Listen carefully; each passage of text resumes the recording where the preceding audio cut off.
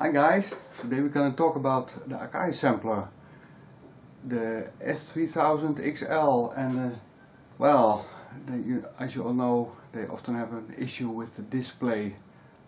Maybe it's the inverter or maybe it's the display fading out. Um, well, I have two of them here and uh, as you can see it's hardly visible what, uh, what your settings are. So today we're gonna change the display and replace the illumination uh, back panel. So hope you enjoy and success if you're gonna change it yourself.